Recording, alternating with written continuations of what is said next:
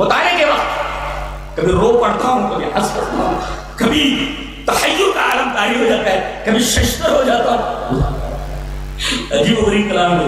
عجیب بات کس طرح کرتا ہے؟ بات کرنے کا اسلوب، بات کرنے کا انداز بالکل جدا ہے ایک بات بولوں، نبی جب اپنی بات بولتے تھے اور جب قرآن پہلتے تھے، تو دونوں میں اس طرح فرق ہو جاتا ہے؟ جیسے پا... جیسے پانی اور تیل۔ جیسے تیل پانی میں نہیں ملتا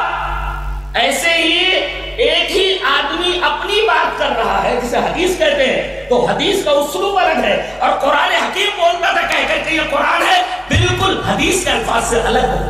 ایک موجزہ ہے موجزہ نہیں ہے۔ اور یہ آپ کو نبوت کی دلیل ہے کہ ایک آدمی دو طریقے سے بول سکتا ہے۔ آدمی ایک اسلوب تو ایسے، اور بلکہ تین اسلوب۔ آپ حدیث بولتے ہیں تو اس کا اسلوب الگ۔ آپ حدیث قدسی بولتے ہیں تو اس کا اسلوب الگ۔